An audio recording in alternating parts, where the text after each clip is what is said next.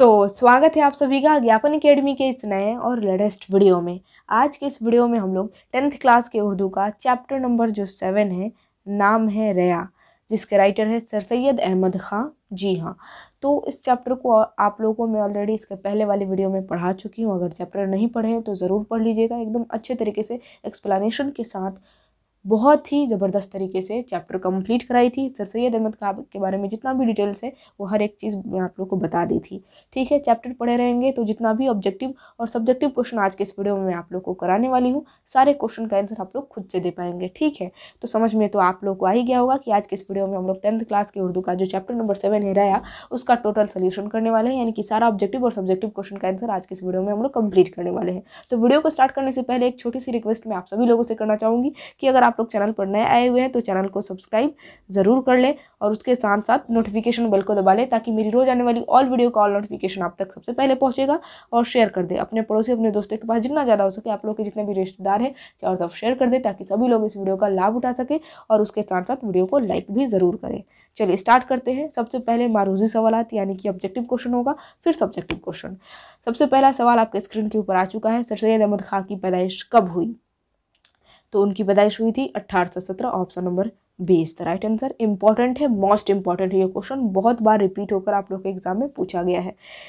Second question on the screen दूसरा सवाल आप लोग के स्क्रीन के ऊपर आ चुका है कि सर सैद अहमद के वालिद का नाम क्या था? सर सैद अहमद खान के पिताजी का नाम बताना है तो इसका सही जवाब हो जाएगा मीर तकी मीर तकी और मीर मुतकी दोनों एक ही साथ दिया गया है, लेकिन इसका ऑप्शन नंबर बी हो जाएगा मीर तकी आप लोग के बुक में मीर तकी ही दिया है। तो ध्यान रहे, अगर मीर मुतक्की देगा और मीर तकी दोनों एक साथ देगा ना तो मीर मुतक्की नहीं होगा, मीर तकी होगा, क्योंकि आप लोग के बुक में भी ओनली मीर तकी दिया है। ठीक है? तो ये इंपॉर्टेंट है। चलिए आगे बढ़ते हैं। तीसरा सवाल, सर सैद का कौन सा मजमून आपके निसाब में शामिल है? यानी कि सर सैद का कौन सा निबंध आप लोग के सिलेबस में है बुक में है तो वो है रया नाम का सिलेबस मतलब रया नाम का चैप्टर आप लोग के बुक में है। जो कि आप लोग इसके पहले वाले वीडियो में पढ़कर कंप्लीट किए थे। बहुत ही अच्छे तरीके से पढ़ाई थी। पढ़े हैं तो सारे क्वेश्चन का आई होप आप लोग आंसर दे पा रहे होंगे। मेरे आंसर बताने से पहले आप लोग खुद से आंसर देने की कोशिश करें। इस तरह आप लोग को पता चलेगा कि आप लोग कितना ऑब्जेक्टिव क्वेश्चन या फिर सब्जेक्टिव क्वेश्चन का आंसर बता पा रहे हैं और कितना नहीं बता पा रहे हैं। इस तरह आप लोग को पता चल जाएगा।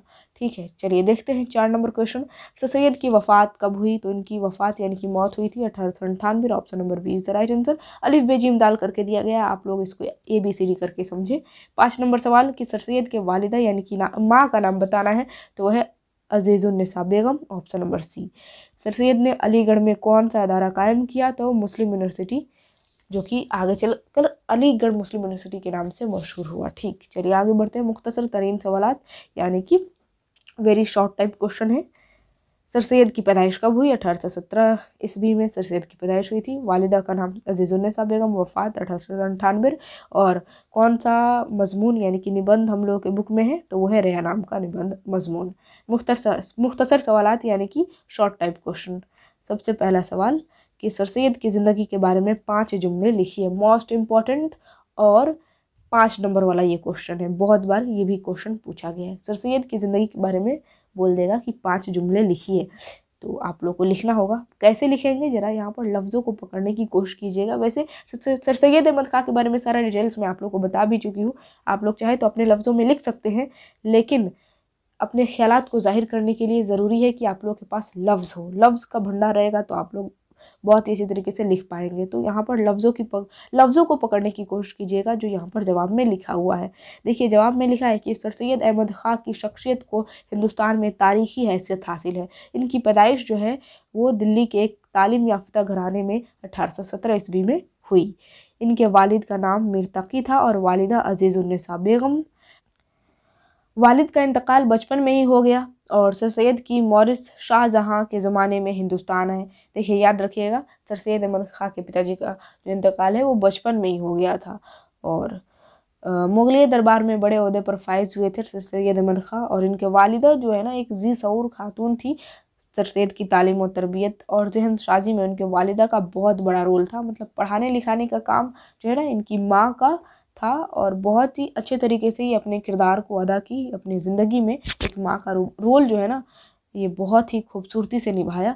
मतलब पिताजी का तो बचपन में इंतकाल हो गया था, लेकिन माँ अपने फ़र्ज़ को नहीं भूली, बहुत ही अच्छी तालीम और तरबियत अपने बेटे को दी और सर सैद जो है ना तालीम से फ़रागत के बाद ईस्ट इंडिया कंपनी की मुलाजमत इख्तियार कर लिए, जॉब करने लगे और मुलाजमत से सबक दोषी, यानी कि रिटायरमेंट के बाद तरस अहमद खां मुसलमानों की तालीम के लिए अलीगढ़ में एम ए कॉलेज खोला। एम ए ओरिएंटल कॉलेज नाम था खोला, जो आगे चलकर अलीगढ़ मुस्लिम यूनिवर्सिटी के नाम से मशहूर हुआ। तो इस तरह आप लोग चाहे तो आंसर लिख सकते हैं, नहीं तो आप लोग अपने अल्फाज में, अपने लफ्ज़ों में लिख सकते हैं, कोई दिक्कत नहीं है।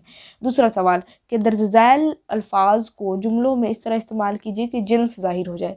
ये जो अल्फाज दिए गए हैं इन सभी अल्फाज को आप लोगों को इस तरह सेंटेंस में यूज़ करना है ना कि जिन्स ज़ाहिर हो जाए मतलब जेंडर पता चल जाए कि कौन सा लफ्ज़ मुजक्कर है और कौन सा लफ्ज़ मुन्नस है। तो देखिए, जवाब में लिखा हुआ है, पहला शब्द है, पहला लफ्ज़ है मोती। मोती चमकीला है। इससे पता चल रहा है कि मोती क्या है? एक मुजक्कर लफ्ज़ है मतलब ये पुलिंग है। पुलिंग शब्द है। किताब, मेरी किताब गुम हो गई। इससे पता चल रहा है कि किताब क्या है मुन्नस है, यानी कि स्त्रीलिंग शब्द है। वक्त, मेरा काम, मेरे काम का वक्त हो गया हो गया है। तो हो गया है लास्ट में क्या है, हो गया है। यानी कि वक्त क्या है, मुजक्कर है, पुलिंग है। नाम, तुम्हारे तुम्हारे वालिद का नाम क्या है या फिर तुम्हारा नाम क्या है? इस तरह पूछा जाता है ना। तो नाम क्या है? ये भी मुजक्कर ही है। कलम, मेरा कलम लाओ। तो कलम भी मुजक्कर ही है। चलिए आगे बढ़ते हैं। ध्यान में रखिएगा, कलम भले ही उर्दू लैंग्वेज में मुजक्कर है, लेकिन हिंदी लैंग्वेज में कलम जो है ना, वो मुन्नस यानी कि स्त्रीलिंग होता है। तीसरा सवाल, मजमून के बारे में पाँच जुमले लिखिए। मजमून नसर की एक किस्म है। उर्दू में मजमून नगारी की रवायत सर सैद से शुरू होती है। मजमून में किसी ख़ास मौजू पर सैर हासिल बहस किया जाता है। मजमून मुख्तसर भी होता है और तवील भी होता है। ज़रूरत और हालात के मुताबिक मजमून लिखा जाता है। मजमून नगारी में काफ़ी वसात और तनु है। मजामी में मुख्तलिफ़ नौीद के मतलब मजामी जो है ना, मुख्तलिफ़ नौीद के हो सकते हैं। जैसे इलमी मजामी साइंसी मजामी मजहबी अखलाक़ी और असलाही और सियासी मजामी वगैरह मजमून नगारी में काफ़ी आज़ादी और कशादगी होती है। तो ये मजमून के बारे में आप लोगों को पाँच जुमले में लिख देना है। आई होप आप लोगों को समझ में आ गया होगा। आगे बढ़ते हैं। तवील सवाल यानी कि लॉन्ग टाइप क्वेश्चन यहाँ से स्टार्ट हो रहा है। सबसे पहला सवाल ऑन द स्क्रीन है। यानी कि आप लोग के स्क्रीन के ऊपर सबसे पहला सवाल आ चुका है। सर सैद की अदबी खदमात पर एक मजमून लिखिए। सर सैद अहमद ख़ां के बारे में लिखना है उनकी अदबी खदमात। मतलब किस तरह से वो अदब को आगे बढ़ाने के लिए किस तरह से खिदमत किए ये हर एक चीज़ आप लोग को बताना है। चलिए देखते हैं जवाब।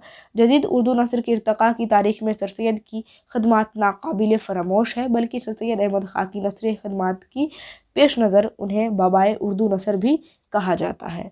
ठीक, कहा जा सकता है। मतलब कि नसर खदमात के पेश नज़र अगर बात की जाए तो सर सैद अहमद को बाबाए उर्दू नसर भी कहा जा सकता है। उलूम मरोज़ा की तहसील से फारिग होने के बाद सर सैद अहमद ख़ान ने अंग्रेज़ों की मुलाजमत के दौरान ही अट्ठारह सौ बासठ ईस्वी में गाज़ीपुर में अंजमन साइंटिफिक सोसाइटी कायम किया। फिर जदीद तर्ज तालीम का जायज़ा लिए। जायज़ा के लिए सर सैद ने लंदन का सफ़र किया और वापसी के बाद अलीगढ़ में रसाला तहजीबुल अखलाक जारी किया। इस वक्त, उस वक्त तक एक इल्मी माहौल कायम हो चुका था। इसलिए अठारह में अलीगढ़ में ही मोहम्मदन एंग्लो ओरिएंटल कॉलेज कायम किया, जो बाद में तरक्की करके सर सैद की वफ़ात के बाद उन्नीस सौ बीस में अलीगढ़ मुस्लिम यूनिवर्सिटी में तब्दील हो गया। ठीक है, ये लंबा चौड़ा आप लोगों को आंसर लिख सक, लिख देना है। अगर आप चाहते हैं तो शॉर्ट कट कर छोटा भी कर सकते हैं और चाहे तो जितना लंबा लिखा गया है वैसा लिख सकते हैं। और नहीं तो आप अपने अल्फाज में लिख सकते हैं, ठीक। दूसरा सवाल है कि जैर निसाब मजमून रया का मरकज़ी ख्याल पेश कीजिए। रया नाम का जो मजमून है, निबंध, आप लोग बुक में जो पढ़ना है, उसका मरकज़ी ख्याल बताना है। आप बोल सकते हैं, इसमें क्या बताया गया ये हर चीज़ आप लोग को डीपली बताना है। जवाब में चलिए देख लेते हैं। निसाब में शामिल मजमून रया सरसैद अहमद खां का एक असलाही कस्म का मजमून है, जिसमें मजमून नगार ने रया की हकीकत और उसके नुकसान के बारे में तफसील से रोशनी डाला है। चुनानचे उन्होंने रया की मफहूम को वाजा करने के लिए कहा है कि रया का मतलब सिर्फ़ दिखावा ही नहीं है और ना ही उसका ताल्लुक़ इंसान की ज़ाहरी अमल और रद्द अमल से है, बल्कि इंसान की दाखिली शख्सियत में जो शकूक व शुबात और गलत फहमियाँ पाई जाती हैं, उसी दाखिली कीफियात को दरअसल रिया कहते हैं। बाज़ अवक़ात ऐसा भी होता है कि किसी अच्छे खासे इंसान को कोई दोस्त झूठी तारीफ़ करके रिया में मुबतला कर देता है और कभी ऐसा होता है कि दुश्मन किसी इंसान की खूबियों को ऐप बनाकर पेश करता है और उसे एक जहनी करब में मुबतला कर देता है। नतीजा यह होता है कि अच्छा खासा इंसान बेतमादी का शिकार होकर अच्छे कामों को अंजाम दही से महरूम हो जाता है। रया एक ऐसी जहनी बीमारी है कि जब यह किसी की शख्सियत में दाखिल हो जाती है तो उसके तमाम अच्छे अमाल को बेमकसद बना देती है और नेक व बद की तमीज़ को भी ख़त्म कर डालती है। ये जो रया है ना, एक ऐसी जहनी बीमारी है जो कि किसी भी शख्सियत में अगर दाखिल हो जाती है, किसी भी इंसान के अंदर ये रया नाम की बीमारी पनप जाती है ना तो वो इंसान के जो अच्छे अमाल है, अच्छे कर्म है वो बिल्कुल भी भूल जाता है वो इंसान। मतलब उसके अच्छे अमाल को बेमकसद बना देती है और नेक व बद में इंसान फ़र्क करना जो है ना भूल जाता है। वो नेक व बद में फ़र्क नहीं कर पाता क्या सही है और क्या गलत है, ये पहचान नहीं पाता है। ठीक है, ये लंबा चौड़ा आप लोगों को आंसर लिख देना है। चलिए तो यहाँ पर लास्ट ये लास्ट ही क्वेश्चन था। सरसैद अहमद ख़ान ने रया की इस नफसियाती कशमकश से बचने के लिए, बचने और दोस्त व दुश्मन के अलग अलग हथियारों से हिफाजत के लिए चंद ऐसे असूल वज़े किए हैं, जिन पर अमल करके हम अपनी ज़िंदगी को पुरसकून बना सकते हैं और अपनी शख्सियत को मुकम्मल भी बना सकते हैं। सर सैद अहमद ख़ान इस चैप्टर में, इस मजमून में अब बोल सकते हैं इस निबंध में अपने दोस्त व दुश्मन के अलग अलग हथियारों से हिफाजत के लिए चंद उसूल बताए हैं और जिस पर अमल करके हम अपनी ज़िंदगी में पुरसकून, अपनी ज़िंदगी को पुरसकून बना सकते हैं और अपने शख्सियत को मुकम्मल बना सकते हैं। ठीक है? तो ये लंबा चौड़ा आप लोग आंसर चाहे तो आप इतना लंबा चौड़ा लिख सकते हैं, नहीं तो कोई दिक्कत ही नहीं, आप इसको शॉर्ट करके छोटा कर सकते हैं, आप लोग अपने हिसाब से अपने लफ्ज़ों में लिख सकते हैं। ठीक है? तो आई होप आप लोग को आज के इस वीडियो में मैं जितना भी क्वेश्चन आंसर कराई, सारा, हर एक पॉइंट समझ में आया होगा। यहाँ पर फाइनली हो जाता है। ऑब्जेक्टिव प्लस सब्जेक्टिव क्वेश्चन का आंसर पूर्ण रूप से कंप्लीट यानी कि टेंथ क्लास के उर्दू का जो चैप्टर नंबर सेवन है राया राया नाम के चैप्टर का टोटल सोल्यूशन आज के इस वीडियो में कंप्लीट हुआ। कोई भी कंफ्यूजन हो, आप हमें कमेंट में लिख कर पूछ लीजिएगा। हो सकेगा तो मैं अगले वीडियो में उस कंफ्यूजन को क्लियर कर दूँ। बाकी मैं आप लोग को जो कुछ भी समझाइए अगर समझ में आया है तो वीडियो को फटाफट लाइक करें। अभी तक लाइक नहीं किए हैं तो फटाफट लाइक करें।